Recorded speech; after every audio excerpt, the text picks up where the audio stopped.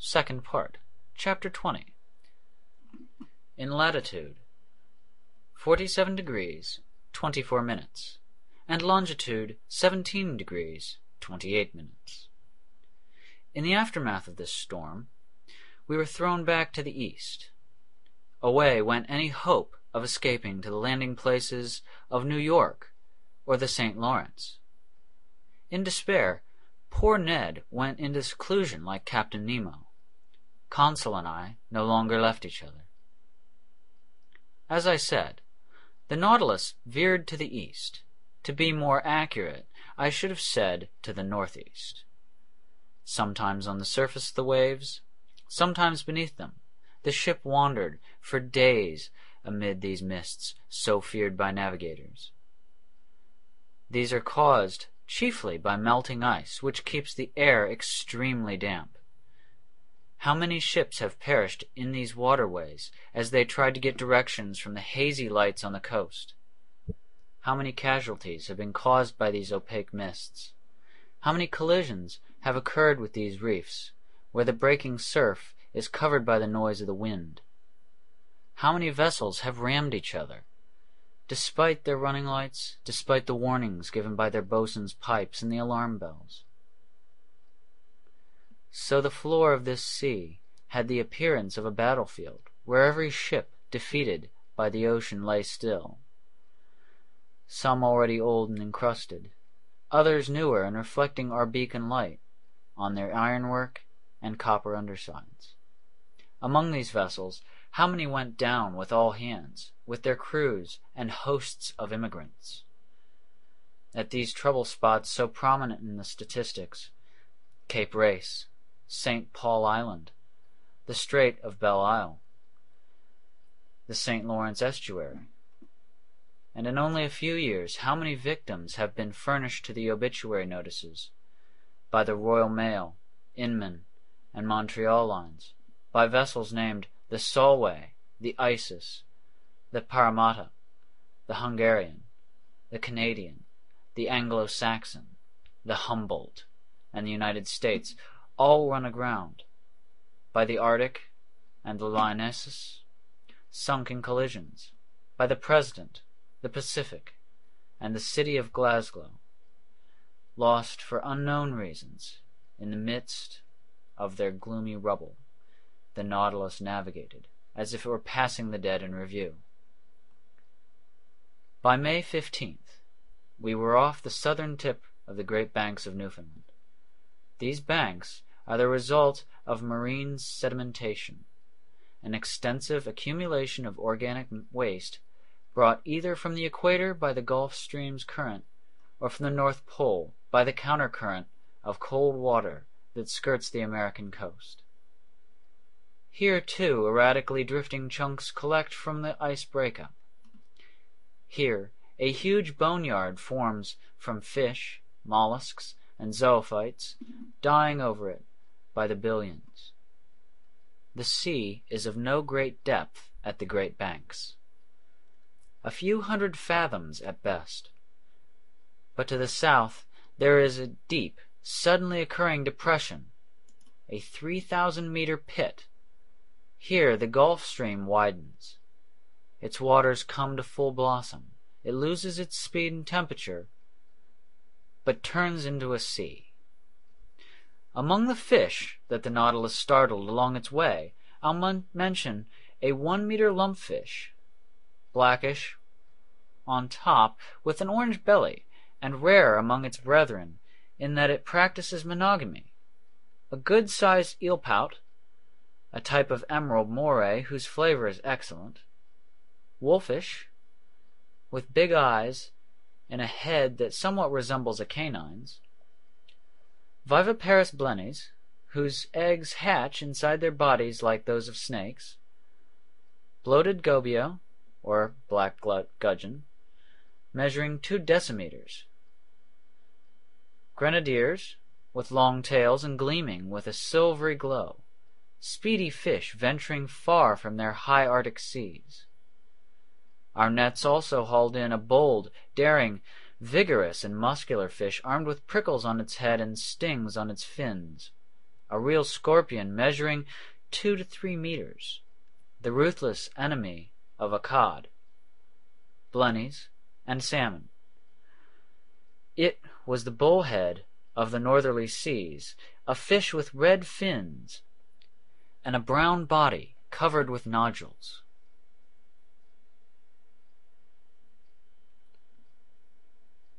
The Nautilus's fishermen had some trouble getting a grip on this animal, which, thanks to the formation of its gill covers, can protect its respiratory organs from any parching contact with air and can live out of water for a good while.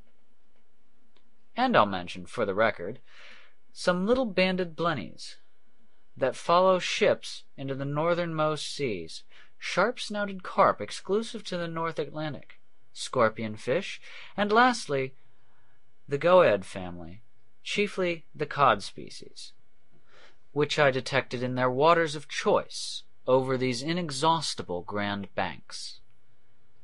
Because Newfoundland is simply an underwater peak, you could call these cod mountain fish. While the Nautilus was clearing a path through their tight ranks, Conseil couldn't refrain from making this comment. Mercy, look at these cod, he said. Why, I thought cod were flat, like dab or sole. Innocent boy, I exclaimed. Cod are only flat at the grocery store when they're cut open and spread out on display. But in the water they're like mullet, spindle-shaped and perfectly built for speed. I can easily believe, master, Conseil replied. But what crowds of them! What swarms! Bah, my friend, there'd be many more without their enemies, scorpion fish and human beings. Do you know how many eggs have been counted in a single female? I'll go all out, Conseil replied. Five hundred thousand. Eleven million, my friend. Eleven million. I refuse to accept that until I count them myself. So count them, Conseil. But it would be less work to believe me. Besides, Frenchmen, Englishmen, Americans, Danes, and Norwegians catch these cod by the thousands. They're eaten in prodigious quantities, and without the astounding fertility of these fish, the seas would soon be depopulated of them. Accordingly, in England and America alone, five thousand ships manned by seventy-five thousand seamen go after cod. Each ship brings back an average catch of 4,400 fish, making 22 million off the coast of Norway. It's the total is the same. Fine, Conseil replied. I'll take the master's word for it. I won't count them. Count what? Those eleven million eggs.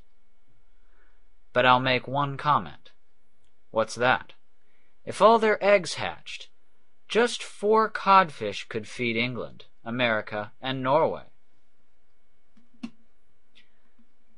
As we skimmed the depths of the Great Banks, I could see perfectly those long fishing lines, each armed with two hundred hooks that every boat dangled by the dozens. The lower end of each line dragged the bottom by means of a small grappling iron, and at the surface it was secured to a buoy rope of a cork float. The Nautilus had to maneuver shrewdly in the midst of this underwater spiderweb. But the ship didn't stay long in these heavily traveled waters. It went up to about latitude 42 degrees. This brought it abreast of St. John's in Newfoundland and Heart's Content, where the Atlantic cable reaches its end point. Instead of continuing north, the Nautilus took an easterly heading as if to go along this plateau on which the telegraph cable rests, where multiple soundings have given the contours of the terrain with the utmost accuracy. It was on May 17th, about 500 miles from Heart's Content, and about 2,800 meters down, that I spotted this cable lying on the sea floor. Conseil, whom I hadn't alerted, mistook it at first for a gigantic sea snake, and was gearing up to classify it in his best manner. But I enlightened him the fine lad, and let him down gently by giving him various details on the laying of this cable. The first cable was put down during the years 1857 to 1858, but after transmitting about 400 telegrams, it went dead. In 1863, engineers built a new cable that measured 3,400 kilometers, weighing 4,500 metric tons, and was shipped aboard the Great Eastern. This attempt also failed. Now then, on May 25th, while submerged to a depth of 3,836 meters, the Nautilus lay in precisely the locality where this second cable suffered the rupture that ruined the undertaking. It happened 638 miles from the coast of Ireland. At around two o'clock in the morning, all contact with Europe broke off. The electricians on board decided to cut the cable before fishing it up. And by eleven o'clock that evening, they had retrieved the damaged part. They repaired the joint and its splice. Then the cable was resubmerged. But a few days later, it snapped again and couldn't be recovered from the ocean depths. The Americans refused to give up. The daring Cyrus Field, who had risked his whole fortune to promote this undertaking, called for a new bond issue. It sold out immediately. Another cable was put down under better conditions. Its sheaved of conducting wire insulated with a gutta percha covering, which was protected by a padding of textile material enclosed in a metal sheath. The Great Eastern put back to sea on July 13, 1866. The operations proceeded apace. Yet there was one hitch. As they gradually unrolled this third cable, the electricians observed on several occasions that someone had recently driven nails into it, trying to damage its core. Captain Anderson, his officers, and the engineers put their heads together, then posted a warning that if the culprit were detected, he would be thrown overboard without a trial. After that, these villainous attempts were not repeated. By July 23rd, the Great Eastern was lying no further than 800 kilometers from Newfoundland when it received telegraphed news from Ireland of an armistice signed between Prussia and Austria after the Battle of Sadova. Through the mists, on the 27th, it sighted the port of Heart's Content. The undertakings had ended happily, and in its first dispatch Young America addressed Old Europe with these wise words so rarely understood Glory to God in the highest, and peace on earth to men of good will. I didn't expect to find this electric cable in mint condition, as it looked on leaving its place of manufacture.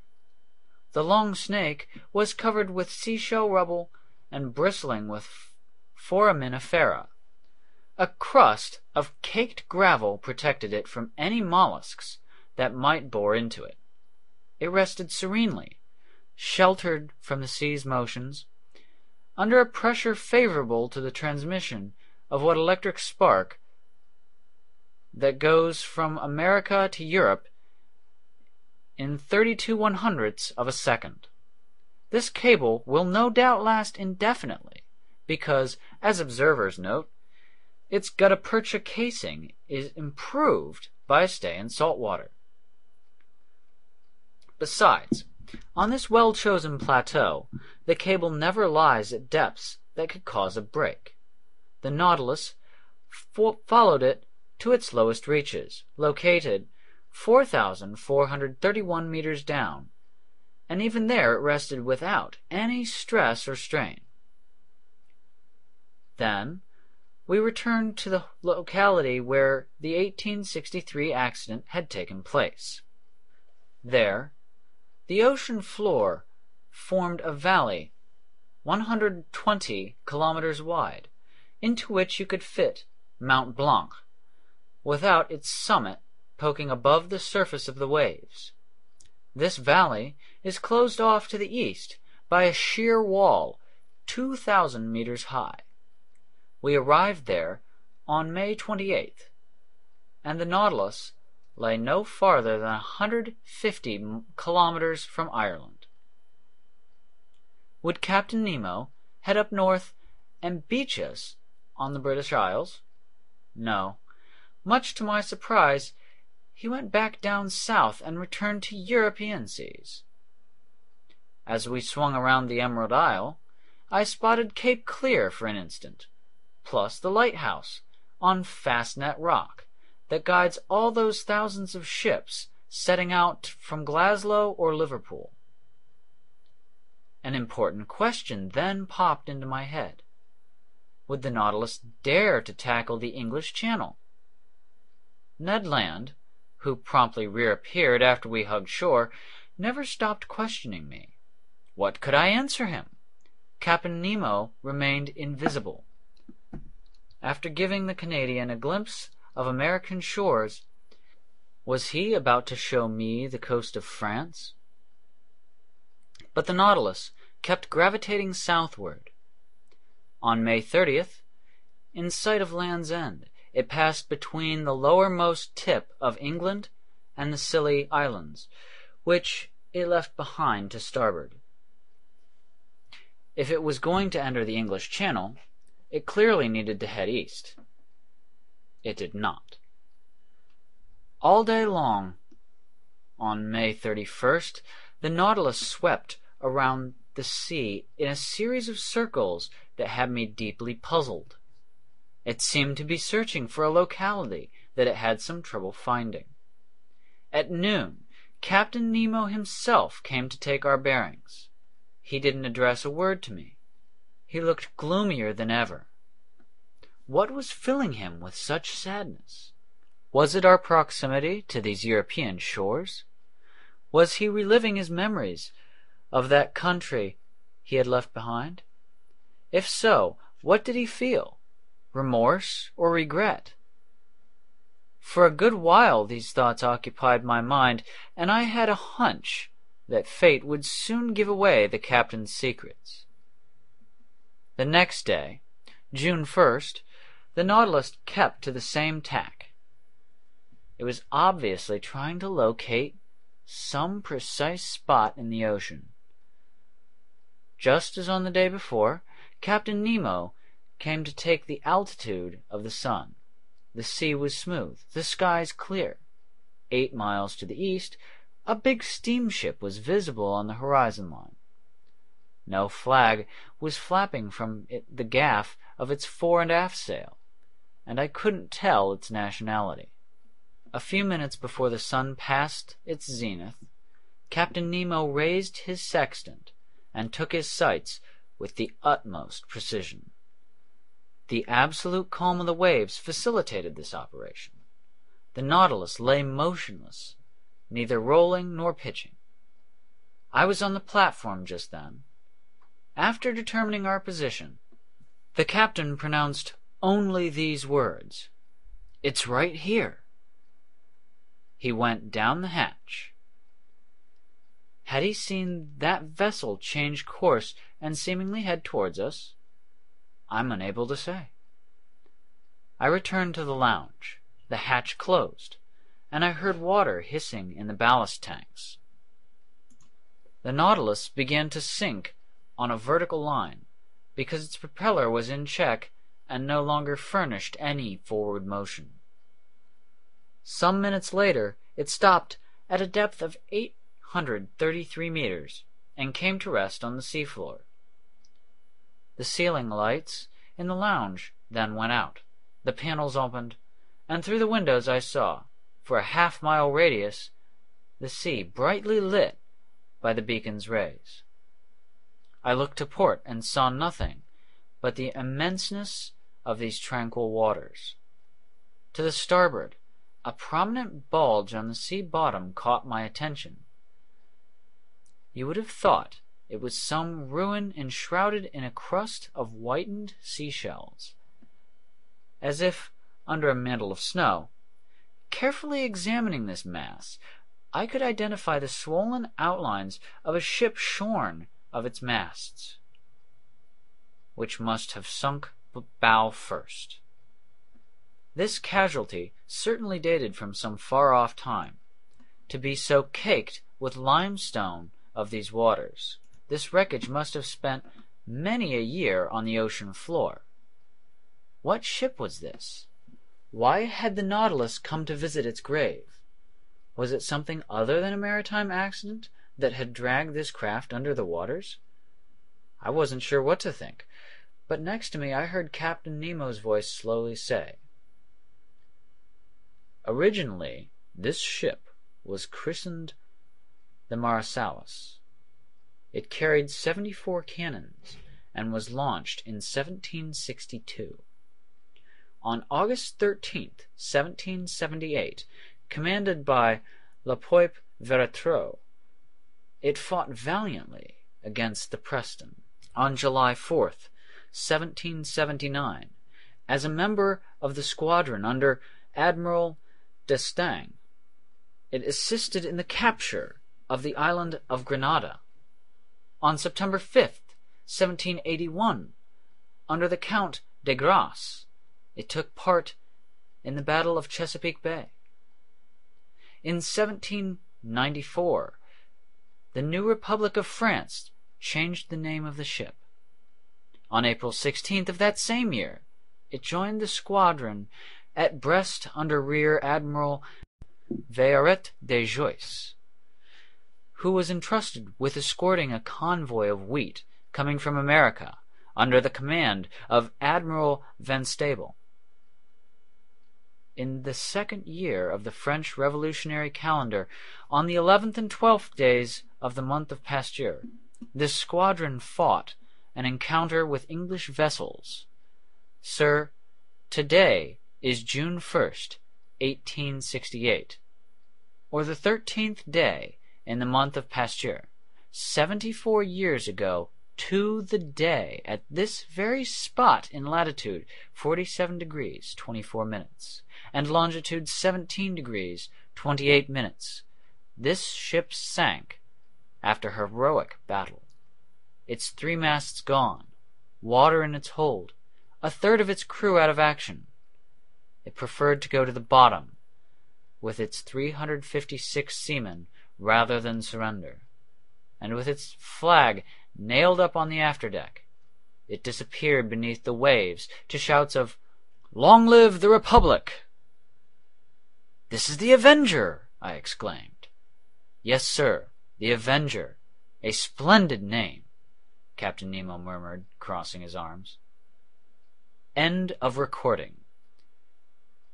End of chapter 20. Recorded by Trevor Strnk. Date 03 3006. Troy, New York.